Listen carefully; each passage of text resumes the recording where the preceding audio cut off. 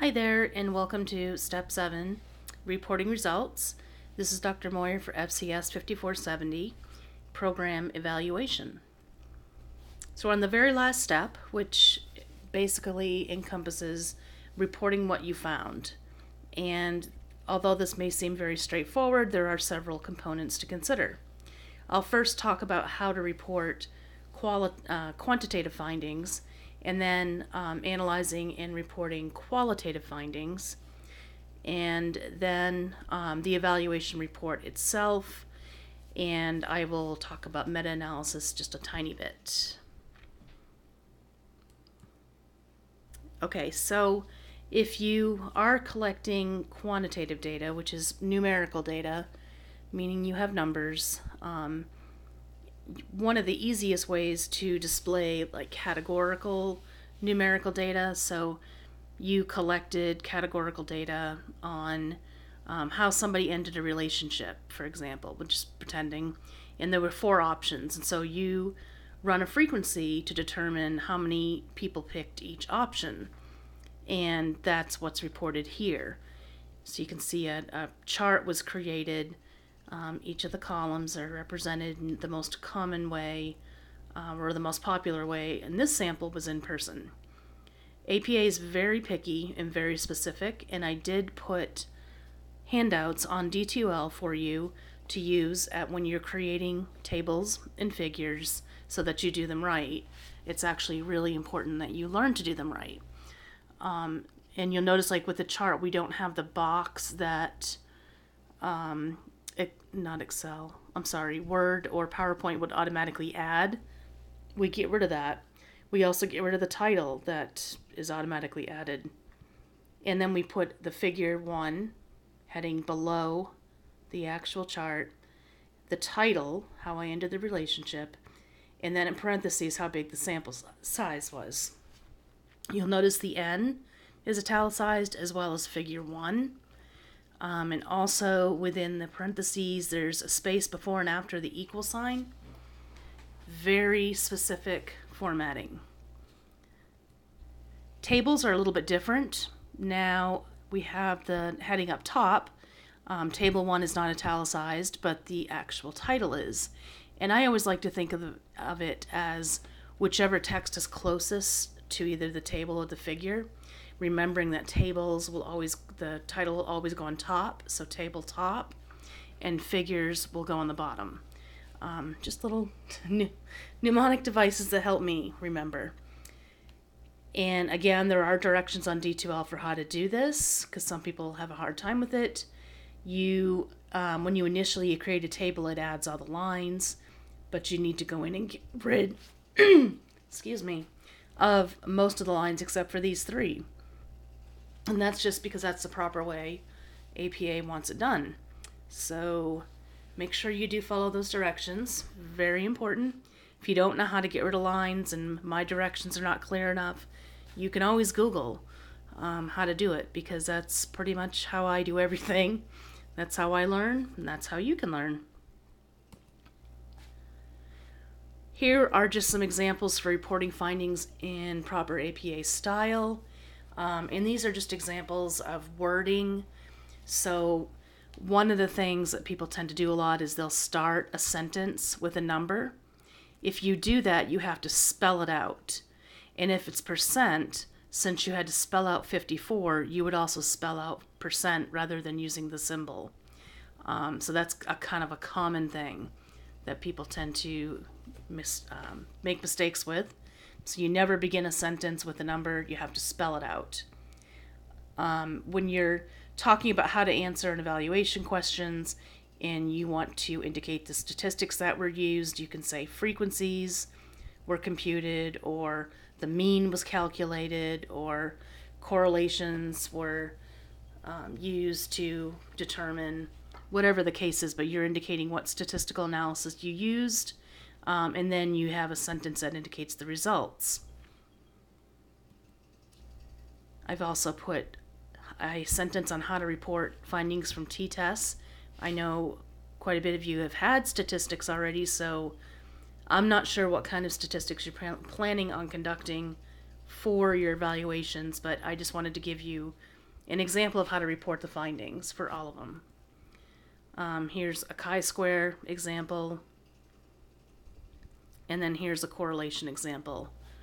Um, probably the correlation would be the one that most people would use because they understand it the most um, easily.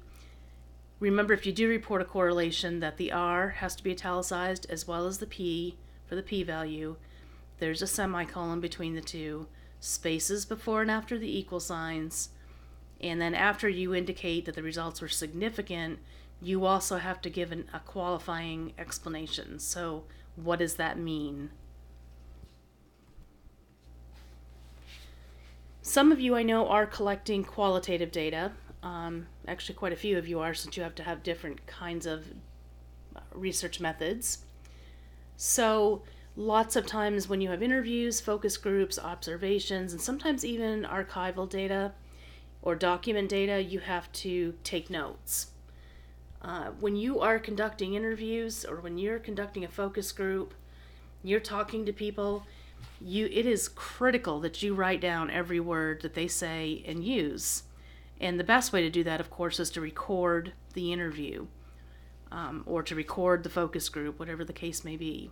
If you're not able to do that, a way to help with that is to, if you can, um, and the participants don't mind, if you can email them the interview questions and they can type in their responses. Um, it's kind of a tricky way of getting them to do the the work for you, the typing up, but um, it does help you capture verbatim what they wrote. So it is critical. Don't take scanty notes and, and hope to work with that. You've got to have all of the information in every single word that people utter um, becomes part of your data. You use direct quotes to illustrate points and examples, so you don't put in every single quote that participants made, but you look at the commonalities or the themes in the responses and say you saw that most of them um, were, when they were concerned with family resources, they may have indicated that the car payment was really stressful.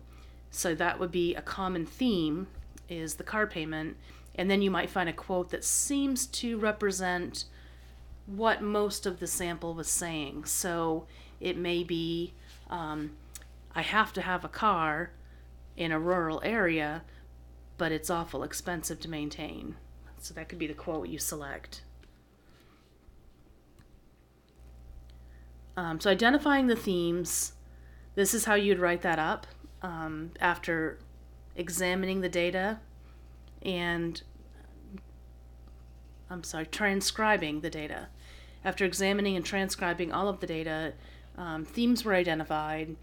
And if you do do this, you want to have at least one other person review the themes you came up with to see if they agree. And the best way to do this is to just give them the data and ask them to come up with themes. Don't tell them what yours are. And then you two can compare notes after and if there are inconsistencies, um, try to figure out why and agree on something together that represents what you both heard or saw. That'll be important um, for validity, reliability purposes.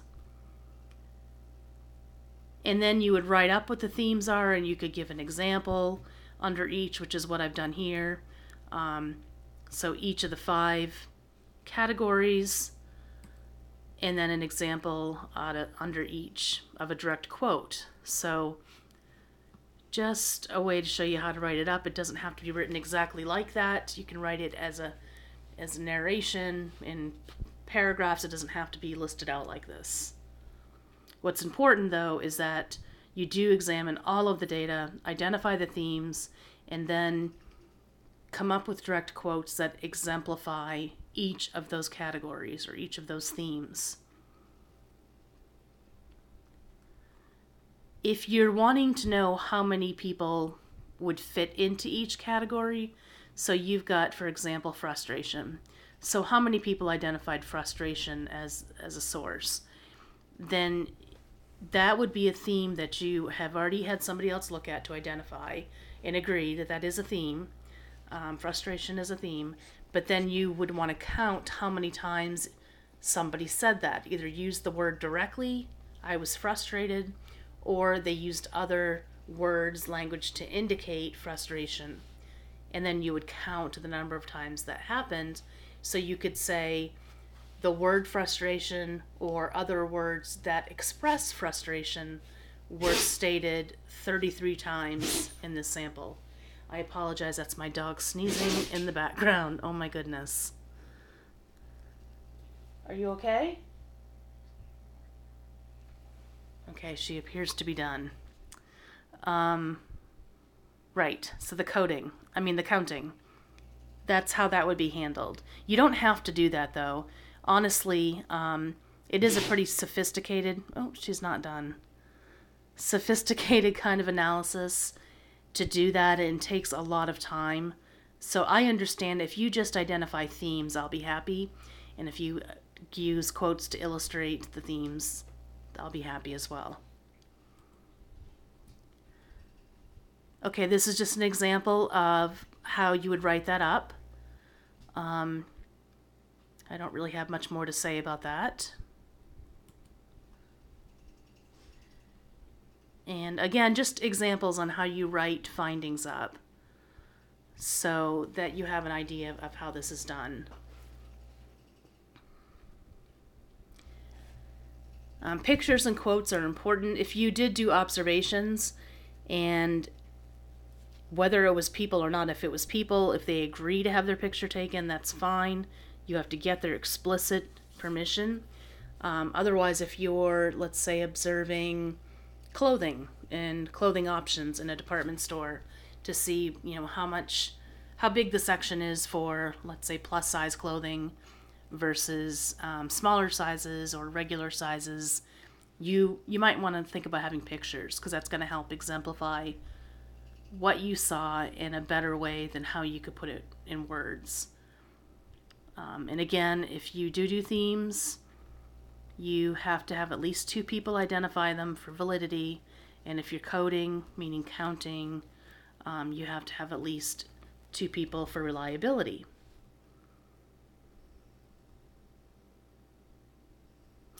Also, um, I didn't deal talk about this specifically. I don't think yet.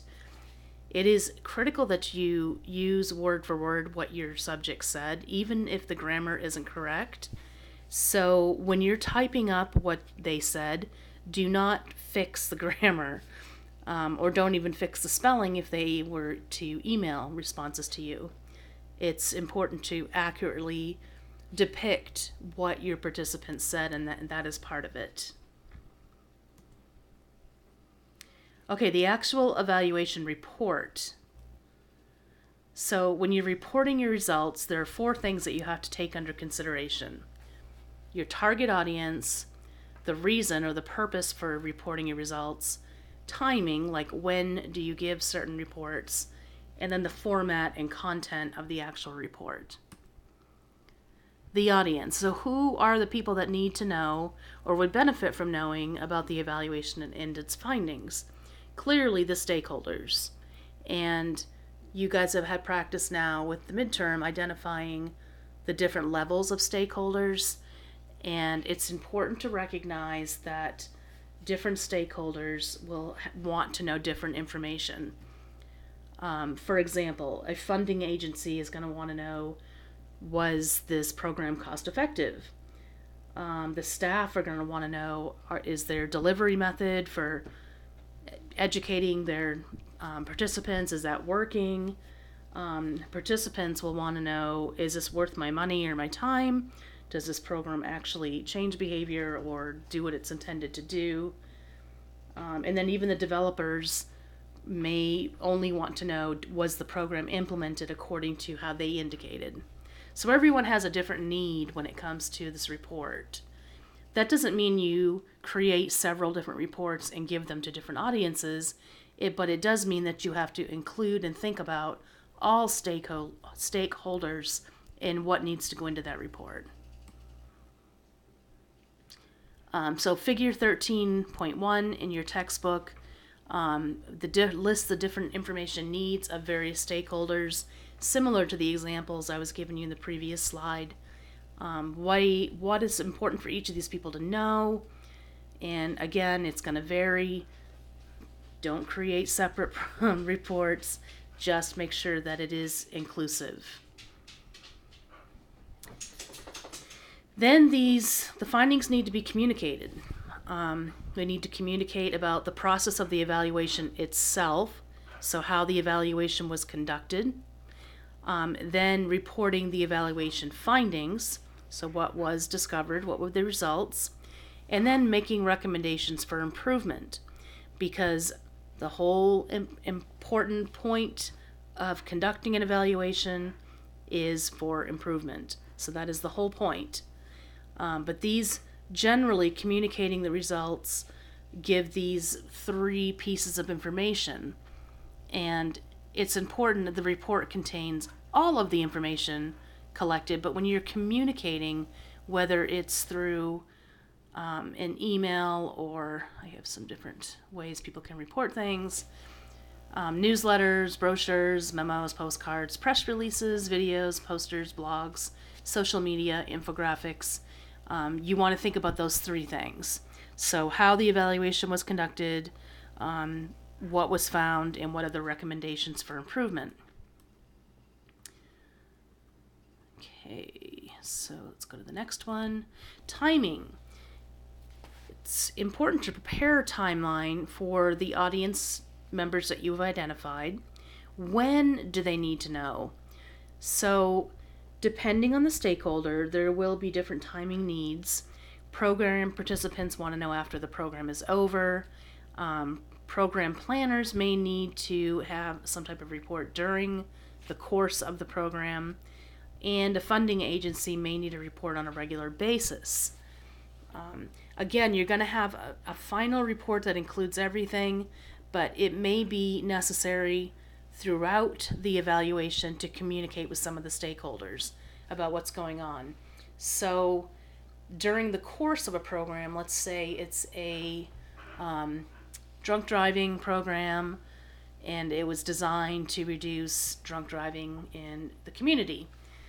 And the program planners say, This is you know how I want this program done, this is how I want the information delivered. Um, participants should also do this and then they find out that having the participants watch a movie regarding um, i don't know what could happen if somebody did drive drunk. Maybe that's not working or it's counterintuitive or is causing unnecessary and negative side effects. You may decide in the middle of the program to pull that piece.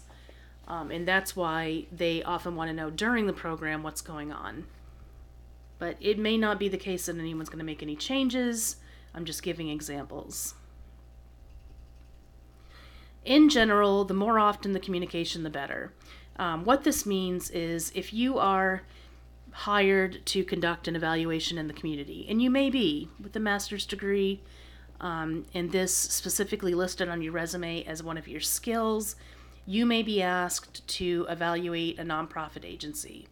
I know I have been asked this several times and, and do do it um, as part of my community service. So, because we have training, we know um, how to do this. We have the steps that we follow, and we may decide to set a timeline of a year. So, I'll have this done in a year, or I'll have this done in six months, whatever the case may be. What you don't want to happen is to agree to do the evaluation and then not communicate anything until the six month time period's over. Um, so even if you don't have something official and on paper, it's still important to communicate throughout the process of the evaluation with, in particular, the primary stakeholder to let them know what's happening. Um, I collected the data, I'm in the data analysis, you know, things are looking good, or um, I have the resources I need, or you may even have questions. Do you know where I could talk to so and so? But it is important to have communication constant, and, and in general, always the more often the better.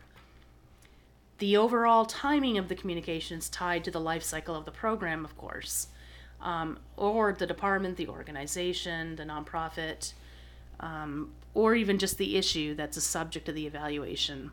So it may be the case that a program is only a week long, and that's going to change how communication is conducted versus a program that is two years long. Doesn't mean you still want frequent communication, but the week long program may require that you check in with the primary stakeholder every day, where the two year may be, you know, once a month is good enough. It, it just depends. And the purpose of the timeline for communication is to indicate to your stakeholders when they can expect to hear from you. It holds you as the evaluator accountable. If you tell them from the very beginning, um, here's when you can expect to receive this, this, this, this, and you give them dates, they're going to expect to hear from you by those dates. If they don't, it looks really bad, and if you're being paid, you may not get paid. So if you tell them that after two weeks you're going to have a preliminary um, pre data collection meeting or communication, you're going to send them a memo, then make sure that you do. Um, and again, like I said, it holds us accountable, and it is important for the primer for the stakeholders to know what's going on. Nothing is worse than oh, we hired a an evaluator, but I haven't heard from him or her, and I have no idea what's going on. That doesn't look good at all. I added this because I, I find this is true of students a lot, um, as well as even my colleagues. Communications and reports often take more time than evaluators anticipate.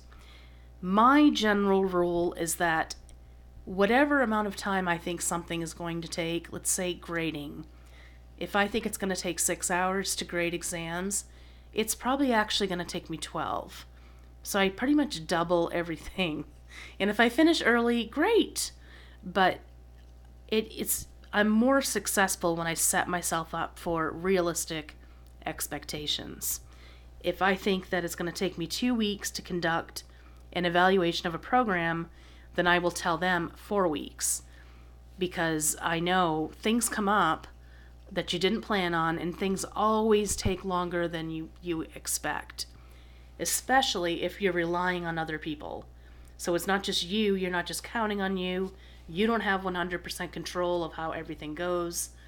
And that can be incredibly frustrating, but that's the nature of the beast and it is the nature of life. So um, just keep that in the back of your mind, and it, ac- it actually applies to everything in my life. So if I think that hey, I'm going to um, paint the back bedroom. I should be able to get that done in four hours. Then I also think I probably should double that. It's probably really going to be eight hours. And it usually is right. Um, it also works with a cost thing, too. Maybe not so much with an evaluation, although it does work with that, but just how much things cost. So if you think, oh, it's only going to be $300 to fix the car, um, plan on 600 so you're not hugely surprised when you go to pick it up. Okay, getting a little off track.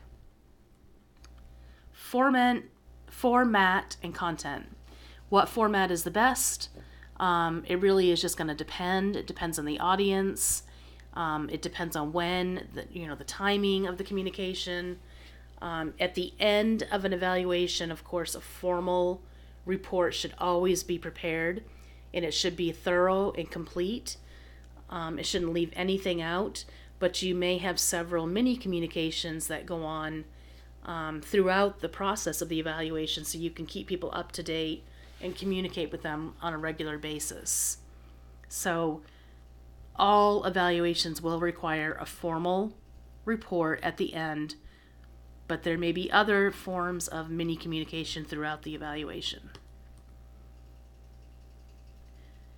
Okay, some general rules about the evaluation report. This applies to your own project for this class.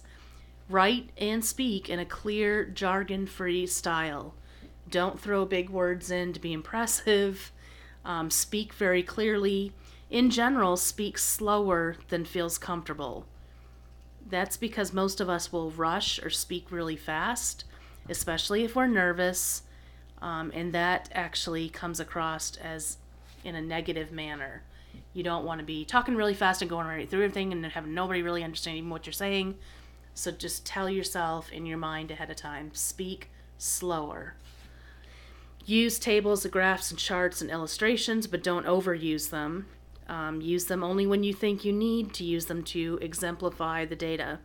Don't throw tables and graphs in because you think it's cool um, or fun because they can be intimidating. And if you do too many, people's eyes kind of glaze and they, they don't even look at them. We already talked about the difference between communicating qualitative and quantitative findings. Um, just again, reminding you about the qualitative, you may be using pictures or, or direct quotes, um, where quantitative would be more numbers.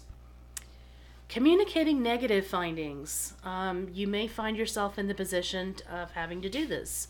This has actually happened to me a great deal, um, not only with evaluating programs, but also with evaluating student work um, on exams or projects.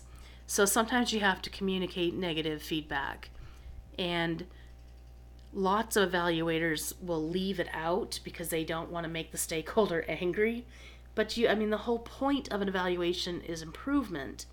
So you have to communicate that. You have to be upfront and let them know.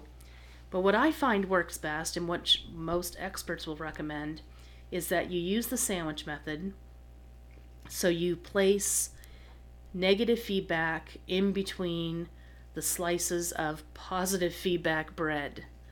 The negative feedback is like the meat. So you start out with something, you know, this program has been very effective at blah, blah, blah, and it's well received in the community. Unfortunately, the data that I collected shows it's not really changing um, adolescent behavior, so we need to think about how to improve that. Um, however, the adolescents enjoy the program, and that's very positive. We can work with different methodologies for trying to change their behavior. And that's when you move right into recommendations. For example, um, it's it appears that just reading a book on whatever it is they're supposed to be changing is not effective. Perhaps we could incorporate, or you, a lot of people will say we because it does feel softer. Um, so you might say, well, we could inc- incorporate videos or scavenger hunts online or whatever the case may be, whatever recommendations that you have. So you go right into that. That's how you deal with negative feedback. You put it in between some positive feedback, the beginning, positive feedback right after, and then you make recommendations for change. You don't just leave it hanging out there like, too bad, dude, your program sucks and doesn't work. Um, you say, you know, this may not be effective. However, I have done some research and looked into other effective delivery methods, and it appears that A, B, C, and D might be more effective. So you have to do it. Just give some thought to it. Um, particularly if you're having to give it in person, be careful of your facial expressions. I would suggest practicing in front of a camera or a mirror if you're going to have a meeting with stakeholders and report findings so that you can see what your face looks like when you do that, or even practice with a friend so they can let you know. You want to keep your face as um, uh, you know unbiased, unexpressive as possible, but you don't want to be like a robot. I mean, you just you know you don't want to be inappropriate. You don't want to smile when giving negative findings, um, but you don't want to look like you're going to have a heart attack either. Um, it, you just have to find that right facial expression, the right tone, what feels comfortable, and what other people get, report back to you is most effective for you. Appearance matters.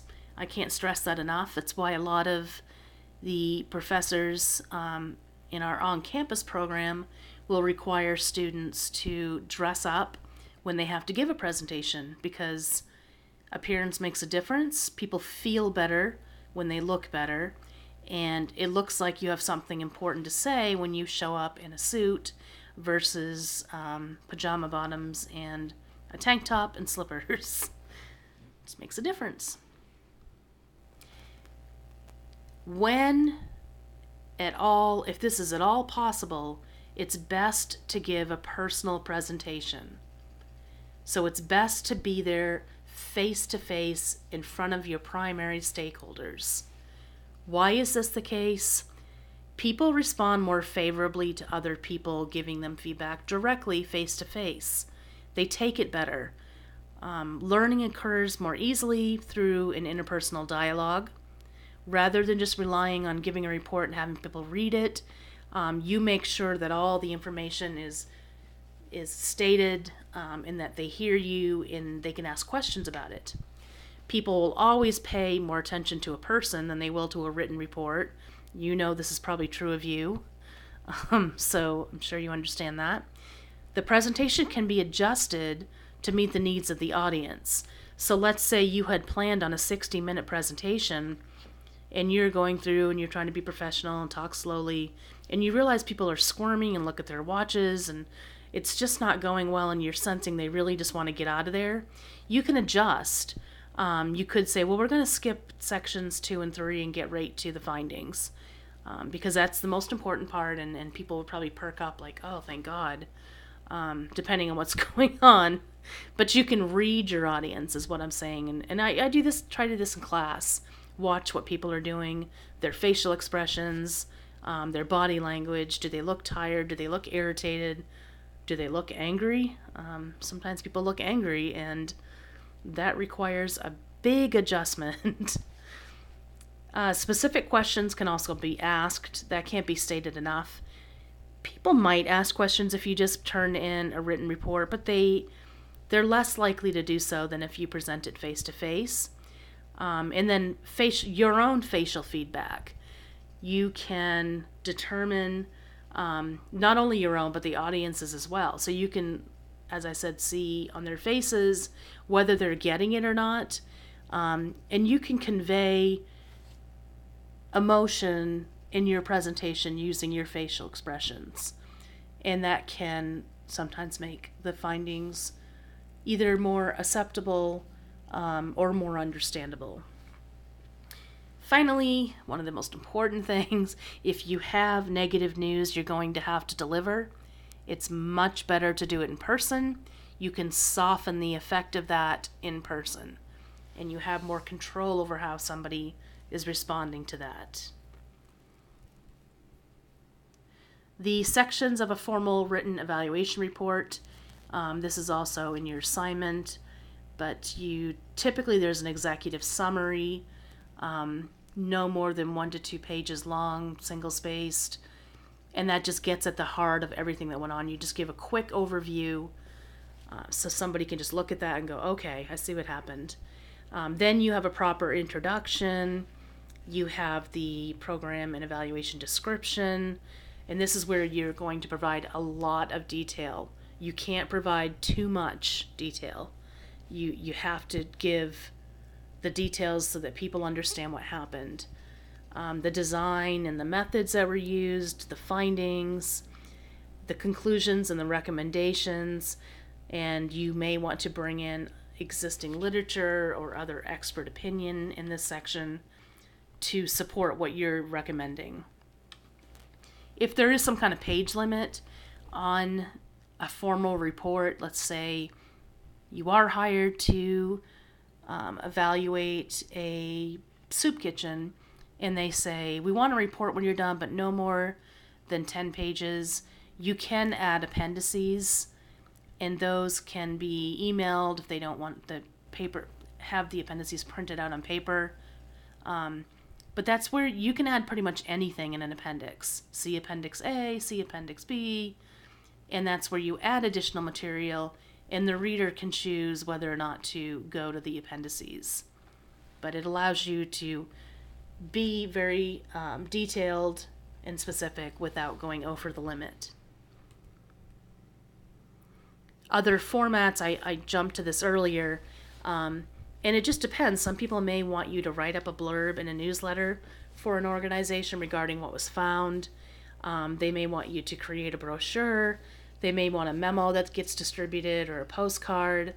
Um, they may want a press release that's given to local newspapers or even television news programs.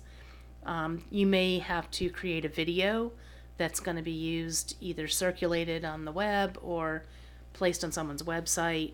Um, posters are sometimes used to communicate findings, blogs, um, social media. Sometimes you know you have to put it out there on Twitter. You're really limited what you can say.